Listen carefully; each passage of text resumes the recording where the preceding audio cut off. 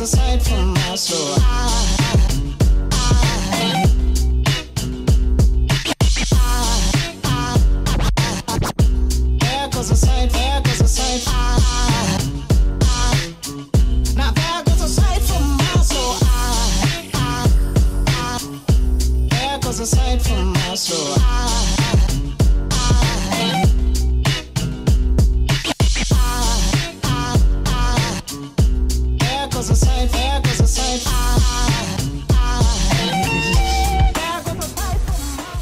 This traveling alone thing I'm kind of very new at. This is actually the first time I've been in a foreign city by myself.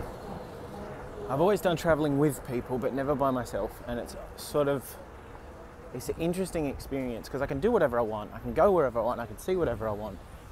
Normally, I'm super happy to let somebody else choose, and I just follow along.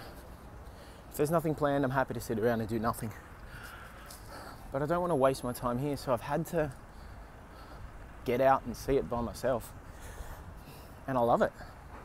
I mean, it's always amazing being able to share the experience with someone. And Emma will be back in a couple of days, so I'll be fine. But it's a noisy road. But to do whatever I want is cool. Having to just sort of get out and do it yourself.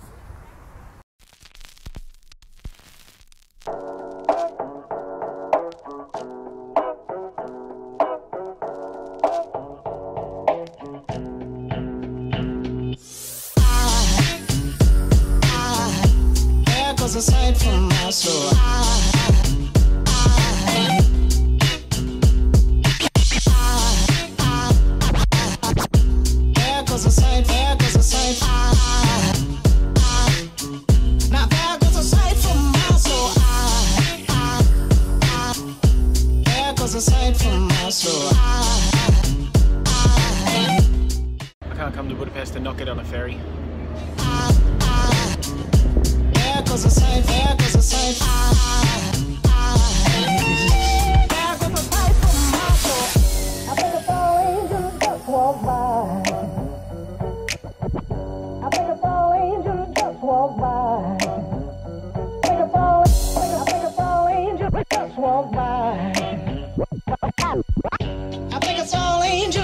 Walk by.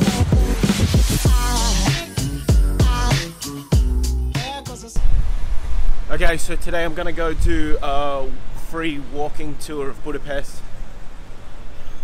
I've really enjoyed these. You get to learn heaps of stuff about where you are. Um, it's like 9:30 in the morning, and the sun is just. It's going to be a really nice day. I just wish I bought some water. All right, all signed up. Tour's to start soon. Should be fun. break and after you are going to have the energy and power to climb up an enormous mountain.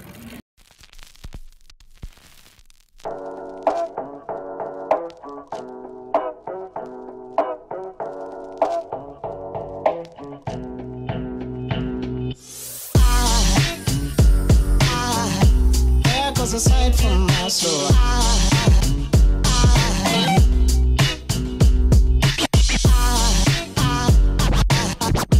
There goes a sight, there goes a sight. Now there goes a sight from my soul. All right, walking tour's done. It was awesome. Learned so much about this place. I had no idea. Five invasions here. It's pretty insane. So now I'm gonna go find me some food. I got a list of like traditional uh, Hungarian dishes that I have to try. I think a fall angel just walked by. I think a fall. Okay, I went for a wander around the Jewish district. Uh, found some lunch. wasn't too bad. I'm decided to do another tour today. So I've already done one going to do another. And this one is around the Jewish district because I found it was so cool while I was there. I'm going to go explore it with everybody else.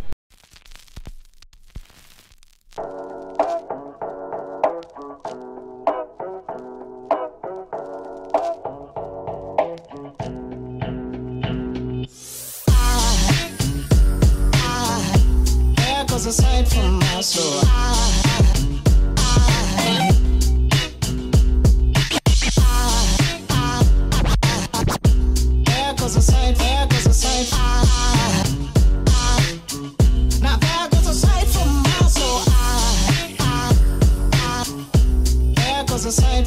so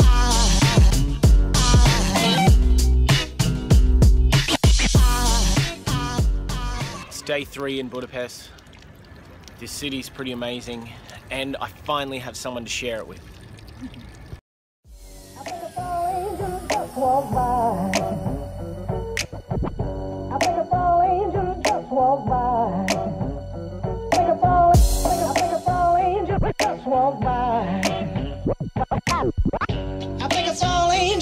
just by.